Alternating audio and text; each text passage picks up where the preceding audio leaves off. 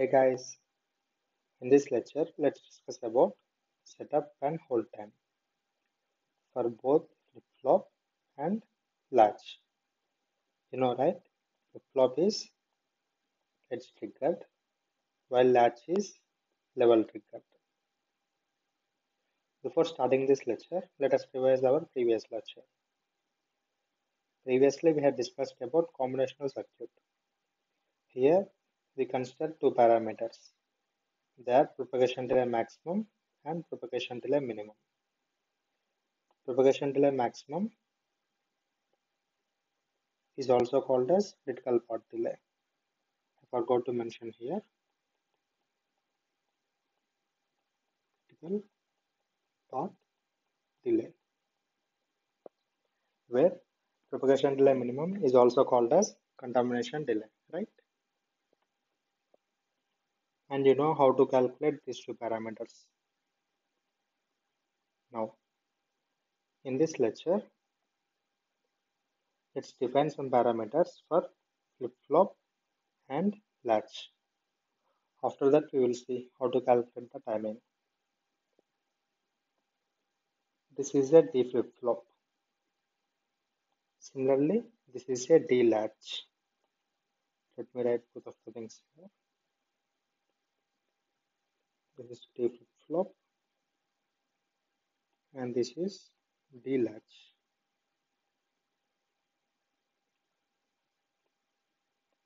The difference is in the flip-flop during the edge transition, whether it may be a positive edge or negative edge. Only during this transition, the data will change? I mean, only during this transition, whatever be the input here, that will propagate to the output. It won't see any changes in the input D during this level or this level. It will only see changes in the input D at the output only during transitions. So there are two types, positive edge triggered and negative edge triggered. So in this case, we are considering positive edge triggered D flip-flop, right? Next, what about latch? So this is level triggered. Let us take for example, this is a positive level trigger latch. So whenever the level is positive, whatever the changes in the input D, those will be propagated to Q, right? So I have indicated with green here because this is a positive edge trigger, sorry, positive level trigger. It can also be negative level triggered. So this is the function of D latch. Now let us define setup and hold time. If you see here, I have drawn the timing diagrams for both flip-flop and for latch. Let us see them once. So whenever the clock is supposed to, whatever the signal is there at D, that will be propagated to the Q. So you may be wondering, here we got the clock, D is A here, then Y is Q changing after some time, right? I will explain it now. That is because the gates which are present inside the flip-flop, that is nothing but a combinational circuit. So whenever the clock is positive edge triggered, it takes some time for the input D to propagate to Q through the combinational circuits. So generally that is called as clock to Q delay. Whenever the clock is triggered, it takes some time for the output Q to change. So from here to here. This is called as clock to Q delay. And I explain why it is happening. Now let us define setup and hold time. For the output Q to be stable or to detect D, the input D should not change for some time before the clock edge and for some time after the clock edge. That is, in this range, our input D should be stable. Then only Q can detect D. So let us see an example. Here, clock edge is happening. Before some time, input is stable. And after some time also, input is stable. That is the reason this D got detected by Q, right? We are getting A here. Now let us see this clock. Before some time, B is stable. And after some time, B is stable. That's why Q again detected B. Now let us take this clock edge. Q is supposed to detect C. But if you observe here, before some time this C is not stable it is changing here that's why our output is undefined it won't detect C. Now let us define the definitions setup time is the minimum time for which the input should be stable before the clock edge so let me write this thing. Setup time is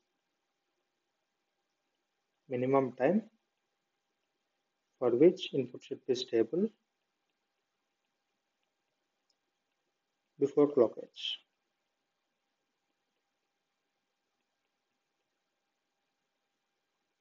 And hold time is minimum time for which the input should be stable after clock edge. This is hold time, this is setup time.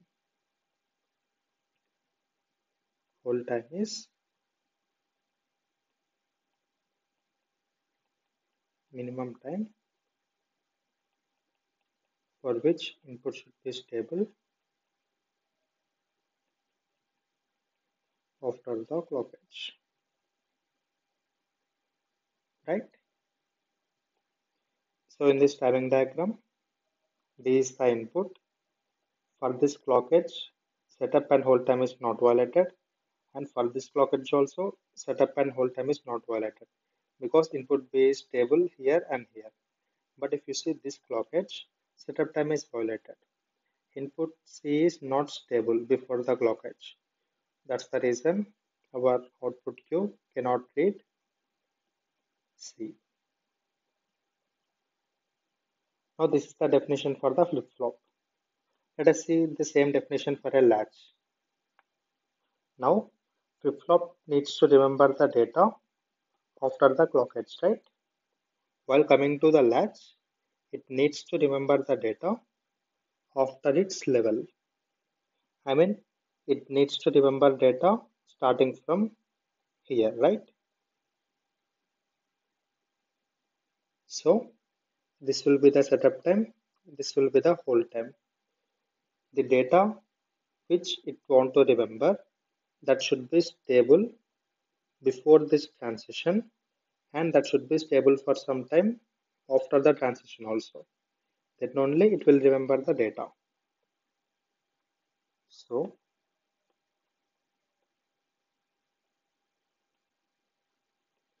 this is setup time for latch and this is hold time for latch let us see a typing waveform. This is our input D. It is changing in this manner. So let us see the output q. Initially we don't know what is the output. So whenever there is a positive level output will replicate d. Of course with some delay so here we are having a we got a and here we are having b we got b if you see at this transition our input B is stable before and after. That's the reason our output is also having B after the ending of positive level, right? Remember B. Now, if you see this case, this is positive level, we have B here, we also have B here. And while ending of this transition, the input C is stable before and after the edge, right? So you remembered C. What? What if input is changing here like this? C. Now you want to remember C, but it is violating the setup time. It is not stable before this edge transition. That's the reason our output will be undefined in this case. But here there is no violation. That's why we are getting the output. So this is the way we will define the setup time and hold time for a latch. For example, what if the latch is of negative level like this.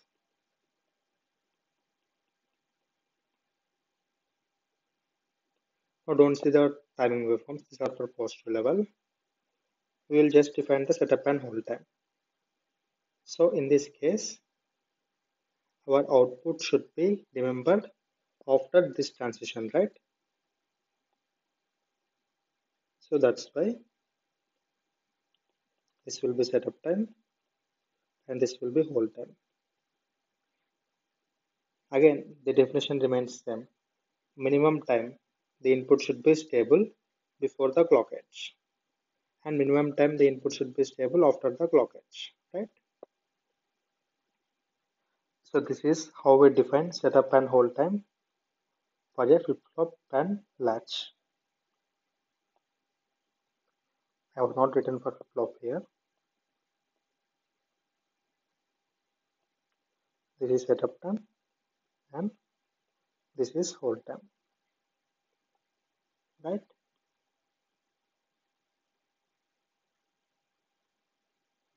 Yeah that's it for this lecture.